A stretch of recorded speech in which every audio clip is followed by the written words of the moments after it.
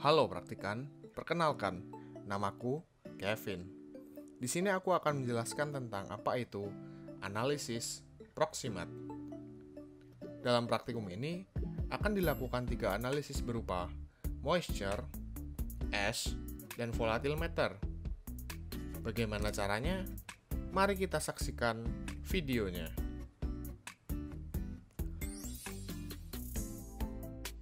Bubuk batu mesh, crucible,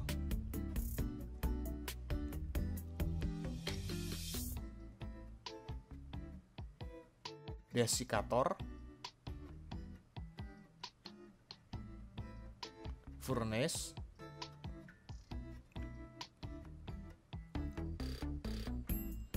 gloves dan tang, neraca Ohaus.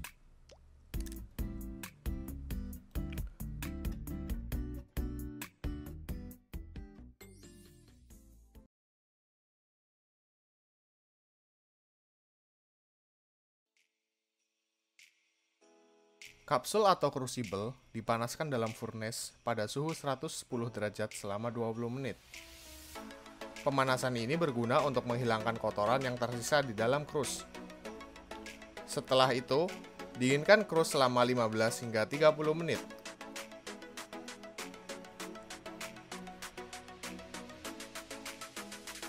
Lalu, timbang dengan cepat ketika krus mulai mendingin.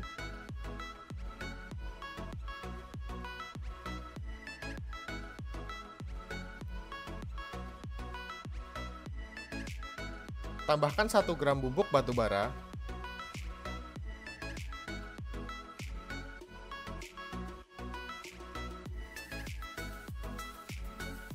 Lalu, panaskan sampel pada temperatur 110 derajat selama 1 jam. Dinginkan dengan cepat di dalam desikator, lalu timbang dengan cepat ketika sudah mulai mendingin.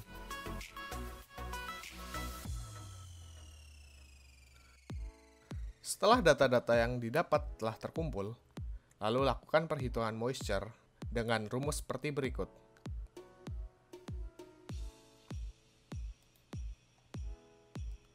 Tempatkan kapsul yang berisi bubuk batu bara dari sampel moisture tadi ke dalam oven. Panaskan secara bertahap hingga suhu mencapai 500 derajat Celcius dalam 1 jam.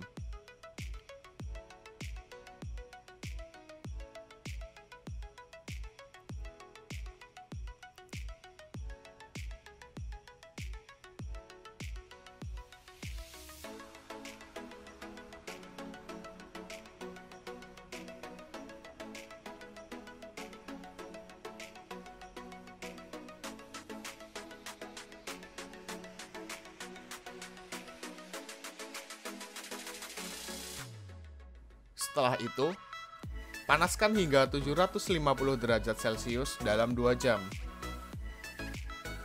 Total waktu pemanasan dalam analisis ash memerlukan waktu sebanyak 3 jam.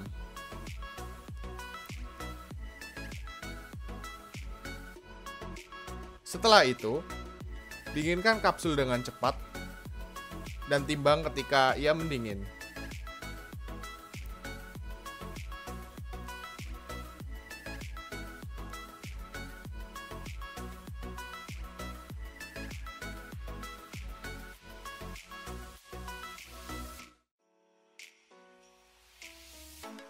Setelah itu, lakukan perhitungan ash dengan rumus berikut.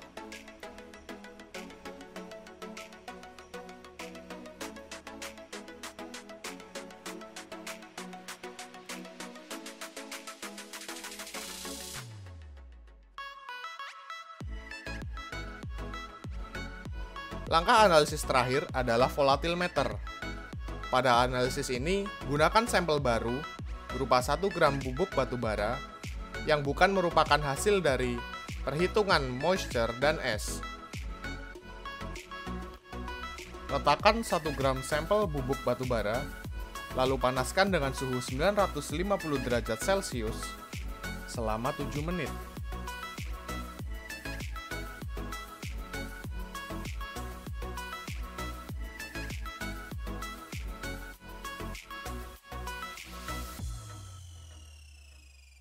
Setelah dilakukan pemanasan selama 7 menit, sampel ditimbang dan lakukan perhitungan seperti rumus berikut.